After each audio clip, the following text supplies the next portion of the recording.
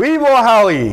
ជនជាតិចិនជិះឡានបាញ់ប្រហារជាច្រើនគ្រាប់ពីក្នុងរថយន្តទំនើបស្លាប់មួយរបួសមួយកាលពីវេលាម៉ោង8ព្រឹកថ្ងៃទី21ខែមករាឆ្នាំ2021ស្ថិតនៅជិតសន្តាគារ7ជាន់កែងផ្សារពាណិជ្ជកម្មក្រុងប្រស័យអនុខេត្តប្រស័យអនុឥឡូវនេះសមត្ថកិច្ចកំពុងតែតាមចាប់ជនដៃដល់ជុំវិញរឿងនេះលោកសុភ័ត្រារាយការណ៍ពីខេត្តប្រស័យអនុជុំវិញករណីបាទផ្ទុះអាវុធនេះដែលបណ្ដាលឲ្យជនជាតិចិនម្នាក់គឺបានស្លាប់បាត់បង់អាយុជីវិត ក្នុងធ្លុកឈាមដែលហេតុការណ៍ករណី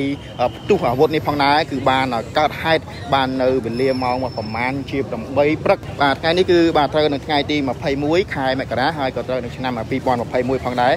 ដែលករណីបាទបាញ់បាទក៏ដូចជាផ្ទុះអាវុធបណ្ដាលឲ្យជនជាតិចិនម្នាក់ស្លាប់បាត់បង់អាយុជីវិត បាទហើយ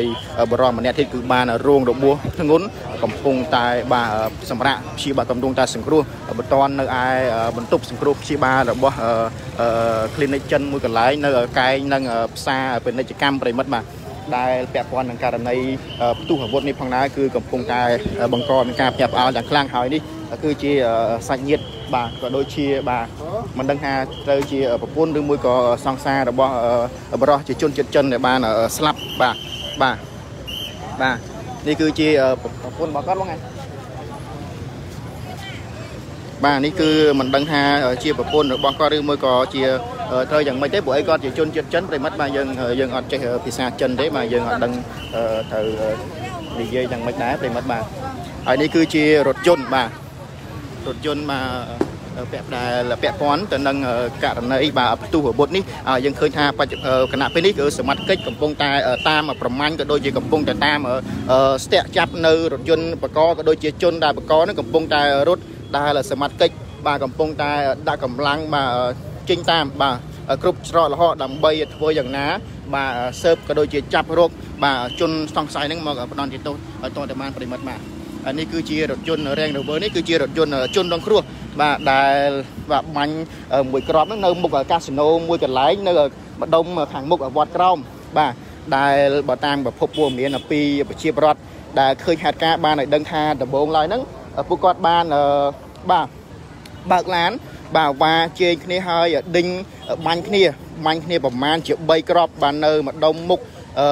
អូតែ7ជាន់ បាទរហូតមកដល់មុខកាស៊ីណូមួយកន្លែងដែលនៅទល់មុខអូតែ7ជាន់នឹងដូចគ្នាបាញ់មួយគ្រាប់ទៀតហើយក៏បណ្ដាលឲ្យបរោះជាជនជាតិចិនម្នាក់នៅក្នុងរថយន្តនោះស្លាប់បាត់បង់អាយុជីវិតភ្លាមភ្លាមនៅនឹងកន្លែងកាត់ហេតុនិងម្នាក់ទៀតរងរបួសហើយដោយឡែកតកង់រថយន្តគាត់ក៏បានព្យាយាមបាទតកង់រថយន្តជនក្នុងគ្រោះហ្នឹងក៏បានព្យាយាមបើកមកដល់ចំណុចបាទ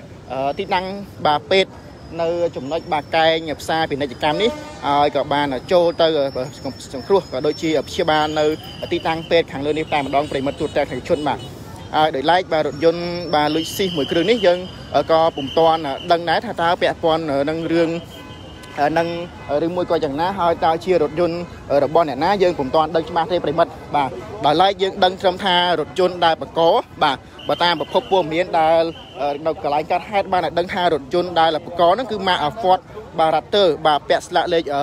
កម្ពុជា14 13នេះគឺជាផ្លាកលេខរថយន្តដែលបកបាទមិនដឹងថា រថយន្តដែលអ្នកដែលបើករថយន្តបកក៏ដូចជាខ្មាន់កំភ្លើងនោះគឺជាជនជាតិអ្វីនៅឡើយទេហើយគាត់បានបាញ់ជនរងគ្រោះនេះគឺបាញ់ចេញពីក្នុងរថយន្តតែម្ដងប្រិមិត្តបាទគាត់មិនបានចុះពីក្នុងរថយន្តទេគឺគាត់ជិះរថយន្តបទិញបតុងគ្នាបាញ់ពីក្នុងរថយន្តតែម្ដងប្រិមិត្តហើយឥឡូវនេះខ្ញុំសូមស៊ូមបាទចំណុចបាទកញ្ចក់បាទដើរធ្លុះបាទបាញ់មួយក្របនេះធ្លុះ បាទទៅក្នុងរថយន្ត Range Rover ខាងលើនេះបណ្ដាលឲ្យត្រូវចំបរោះជាជនចិត្តចិននៅខាងក្នុងនោះស្លាប់បាត់បង់អាយុជីវិតភ្លាមភ្លាមតែម្ដងហើយសូមបញ្ជាក់ថាបាទតែកង់រថយន្តបាទ Range Rover នេះគឺជាជនជាតិខ្មែរហើយគាត់ជាអ្នកបើកដុបបាទជនជាតិចិនបាទហើយបណ្ដាលឲ្យជនជាតិចិននៅខាងក្រោយហ្នឹងគឺស្លាប់បាត់បង់អាយុជីវិតភ្លាមភ្លាមតែម្ដងហើយប្រិមិត្តឃើញហ្នឹងបាទគឺ តែកង់រថយន្តគឺសំណាងមែនទែនបាទបាញ់ចំបាទកញ្ចក់ផ្នែកខាងមុខហើយបែរជាមិនត្រូវតកង់ទេគឺទម្លុះបាទប្រឆិតទៅចំជនជាតិចិនដែលអង្គុយនៅកៅអីក្រោយឯនោះវិញប្រិមត្តទូរទស្សនិកជនបាទសូមជ្រាបបាទឥឡូវនេះកំពុងតែបង្កមានការភ្ញាក់ផ្អើលខ្លាំងមែនទែនបាទនៅចំណុចបាទទីតាំងកែងផ្សារពាណិជ្ជកម្មបាទ កែងផ្សារពាណិជ្ជកម្មស្ថិតនៅក្នុងបាទសង្កាត់លេខ2ក្រុងព្រះសីហនុខេត្តព្រះសីហនុដែលហេតុការផ្ទុះអាវុធបាញ់បាទផ្អើលក្រុងព្រះសីហនុទាំងព្រឹកនេះគឺកំពុងតែបង្កឲ្យមានការភ្ញាក់ផ្អើលយ៉ាងខ្លាំងហើយនេះគឺជាជនជាតិចិនដែលជាប្រពន្ធបាទបាទដែលជាប្រពន្ធរបស់ជនរងគ្រោះដែលបានស្លាប់បាត់បង់អាយុជីវិតទៅហើយប្រិមត្តទូរទស្សនិកជនបាទដែលបានស្លាប់បាត់បង់អាយុជីវិតទៅហើយបាទសូមចូលរួមសោកស្ដាយផងបាទប្រិមត្ត ហើយសង្ឃឹមថាបាទសមត្ថកិច្ចនឹងធ្វើការតាមរកបាទជនបកក៏ដូចជាជនសង្ស័យហ្នឹងមកផ្ដន់ទាទោសតាមច្បាប់ឲ្យតតែបានបាទប្រិមិត្តហើយបាទពុកម៉ែបងប្អូនប្រិមិត្តបានប្រទះឃើញរមាក់រថយន្តបាទគាត់រ៉ាត់ទ័របាទពណ៌ខ្មៅពាក់ស្លាកលេខកម្ពុជា14 13បាទ Ford Raptor ពណ៌ខ្មៅពាក់ស្លាកលេខកម្ពុជា14 13ដែលប្រភពព័ត៌មានពីប្រជាពលរដ្ឋបានរាយការណ៍ថាគឺជារថយន្ត ជនសង្ស័យដែលបានជិះបាញ់ជនរងគ្រោះពីខាងក្នុងរថយន្តនៅចំណុចទីតាំងកន្លែងកាត់ហេតុដំបងនៅឯបាទម្ដុំមុខកាស៊ីណូមកជាស្រ័យម្ដុំមុខអតែល7ជាន់នោះគឺពុំមានប្រទះឃើញក្របបន្ទុះនោះទេដោយសារតែជនសង្ស័យបានបាញ់ពីក្នុងរថយន្តមកប្រិមិត្តបាទដោយសារតែក្នុងជនសង្ស័យហ្នឹងបាញ់ពីខាងក្នុងរថយន្តមកដូច្នេះនៅទីតាំងកន្លែងកាត់ហេតុគឺពុំមានឃើញក្របបន្ទុះនោះទេបាទ បាទហើយនេះគឺជាបាទរថយន្តជនរងគ្រោះបាទគឺជារថយន្តជនរងគ្រោះម៉ាកបាទ Range Rover ពណ៌ខ្មៅបាទបាទម៉ាក Range Rover ពណ៌ខ្មៅពាក់ស្លាកលេខភ្នំពេញ 2AL 9459បាទម៉ាក Range Rover បាទពណ៌ខ្មៅពាក់ស្លាកលេខភ្នំពេញ 2AL 9459ដែលជារថយន្តបាទជនរងគ្រោះបាទឥឡូវនេះកំពុងតែបង្កឲ្យមានការ ភ្ញាក់ផ្អើលខ្លាំងមែនទែនប្រិមត្តបាទឥឡូវនេះជនជាតិចិនបាទបានចូលមកចំណុចខ្សែដែលសមត្ថកិច្ចហាមឃាត់ការពារនៅរថយន្តបាទដែលរងគ្រោះប្រិមត្តបាទបាទបាទមិនដឹងថាគាត់ចូលទៅរកអីទេបាទអត់ដឹងថាគាត់ចូលទៅរកអីទេបាទឥឡូវនេះគឺកំពុងតែបង្កមានការភ្ញាក់ផ្អើលខ្លាំងមែនទែនប្រិមត្តទូរទស្សនិកជនបាទបាទគឺកំពុងតែបង្កមានការភ្ញាក់ផ្អើលបាទទាំងព្រឹកតែម្ដងបាទ នៅក្រុងបសេនុរបស់យើងបាទគឺកំពុងតែបង្កមានការភ្ញាក់ផ្អើលដោយមានករណីបាទផ្ទុះអាវុធបាទបណ្ដាលឲ្យបរោះជាជនជាតិចិនម្នាក់គឺស្លាប់បាត់បង់អាយុជីវិតភ្លាមភ្លាមនិងម្នាក់ទៀតគឺរងរបួសហើយកំពុងតែបានចូលសង្គ្រោះបន្ទាន់នៅឯមន្ទីរពេទ្យចិនមួយកន្លែងនៅចំណុចកែងផ្សារពាណិជ្ជកម្មបាទប្រិមិត្ត បាទកែងផ្សារពាណិជ្ជកម្មទល់មុខនឹងធនាគារកម្ពុជាពាណិជ្ជកម្មផ្ទាល់តែម្ដងប្រិមិត្តបាទហើយឥឡូវនេះកំពុងតែបង្កមានការផ្ញើផ្អើលបាទដល់បងប្អូនប្រជាពលរដ្ឋបាទក៏ដូចជាបាទផ្អើលអស់ហើយសមត្ថកិច្ចបាទចុះមកចំណុចទីតាំងកន្លែងដែលជនរងគ្រោះបានបើករថយន្តមកមន្ទីរពេទ្យនេះបាទដើម្បីធ្វើការបាទសង្គ្រោះក៏ដូចជាព្យាបាលបាទបណ្ដាយើងឃើញថាជាអកុសលបាទជនជាតិចិនបាទ ម្នាក់គឺបានស្លាប់បាត់បង់អាយុជីវិតនៅក្នុងរថយន្តនេះទៅហើយប្រិមិត្តបាទបានស្លាប់បាត់បង់អាយុជីវិតនៅខាងក្នុងរថយន្តនេះទៅហើយបាទរថយន្តជនរងគ្រោះគឺ Mark Range Rover បាទពណ៌ខ្មៅពាក់ស្លាលេខភ្នំពេញ 2AL បាទ9459បាទប្រភពព័ត៌មានពិតបាទចែកជូនដល់ប្រិមិត្តក៏ដូចជា live ផ្ទាល់តនហេតុការបាទ24ម៉ោងតែម្ដងប្រិមិត្តបាទឲ្យបានទស្សនាទាំងអស់គ្នាបាទ បាទចំណុចសូមបញ្ជាក់ថាខេត្តការបាញ់ផ្ទុះអាវុធនេះគឺស្ថិតនៅបាទខេត្តព្រះសីហនុប្រិមិត្តបាទគឺនៅក្នុងនឹងខេត្តព្រះសីហនុបន្តតែម្ដងខ្ញុំសូមបញ្ជាក់បន្ថែមបន្តិចទេប្រិមិត្តបាទដើម្បីកុំឲ្យបងប្អូនយល់ច្រឡំក៏ដូចជាឲ្យបងប្អូនយល់ច្បាស់អំពីហេតុការនេះបាទដំបូងឡើយគឺបាទរថយន្ត2គ្រឿងដែលមួយគ្រឿងម៉ាកបាទ Ford Raptor កំពុងតែរត់កិច្ចខ្លួនហើយហើយមួយគ្រឿងនេះគឺរថយន្តជននឹងគ្រោះបាទម៉ាក Range Rover នេះបាទដំបូងឡើយហ្នឹងគាត់មកនៅវេលាម៉ោង8ព្រឹក បាទថ្ងៃទី21ហ្នឹងដំបូងឡើយគាត់មានការបាទផ្ទុះសារាយគ្នាបាញ់គ្នាបាននៅផ្លូវបេតុងមួយកន្លែងម្ដុំវត្តក្រោមបាទទល់មុខវត្តក្រោមតែម្ដងប្រិមិត្តបាទហើយនៅពេលដែលគាត់បាញ់គ្នាហើយហ្នឹងបានន័យថាជនរងគ្រោះហ្នឹងគឺបានស្លាប់ទៅហើយបាទបានស្លាប់នៅក្នុងរថយន្តហ្នឹងហើយឥឡូវហ្នឹងស្លាប់ក៏នៅក្នុងរថយន្តហ្នឹងដែរ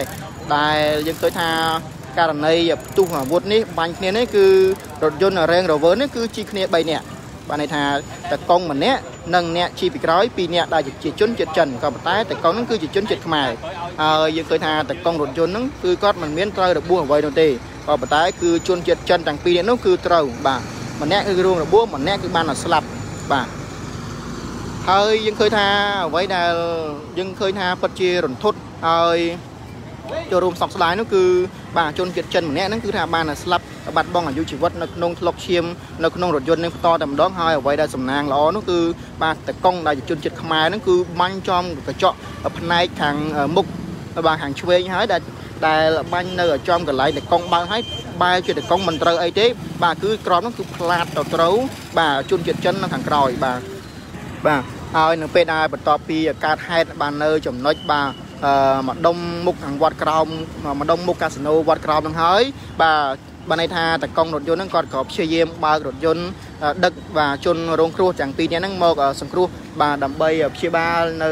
បាទទីពេទ្យចិនមួយកន្លែងនៅក្បែរនឹងកែងផ្សារពាណិជ្ជកម្មនេះបាទក៏ប៉ុន្តែជាអកុសលគឺជនជាតិចិនម្នាក់ហ្នឹងគឺបានស្លាប់ទៅហើយប្រិមិត្តបាទ ជនជាតិចិនម្នាក់ហ្នឹងគឺបានស្លាប់បាត់បង់អាយុជីវិតនៅក្នុង